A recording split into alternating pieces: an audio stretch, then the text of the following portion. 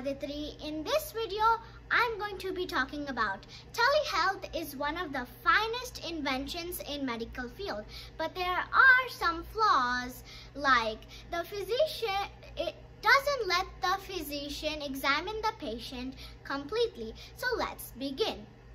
Now physicians can see and hear the patient, but there's still one important thing missing, and that is examining the patient by using most of the senses.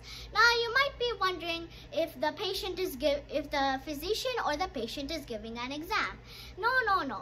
Examination means to carefully observe by seeing, hearing, touching, and smelling. So, what's the solution to this problem?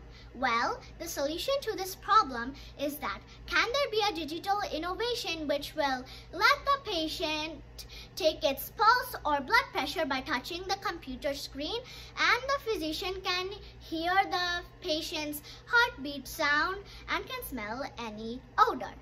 Hope you enjoyed my video. Be sure to comment below. Thank you and bye.